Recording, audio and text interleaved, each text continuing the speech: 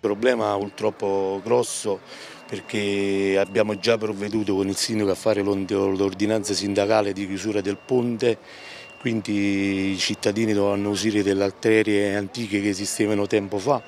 e stiamo aspettando l'autostrada che ci convochi per ulteriori informazioni su questo tragico evento. Purtroppo avranno questo disagio che questa è una strada principale sia per gli abitanti di Aurivola, Pozza, Cittadella e passano per l'altra arteria che un poco diciamo così non è mm, tanto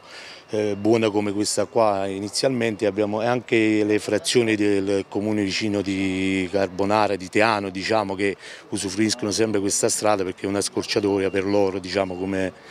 eh, raggiungimento dei grandi centri sia di Vairano che di Caenello.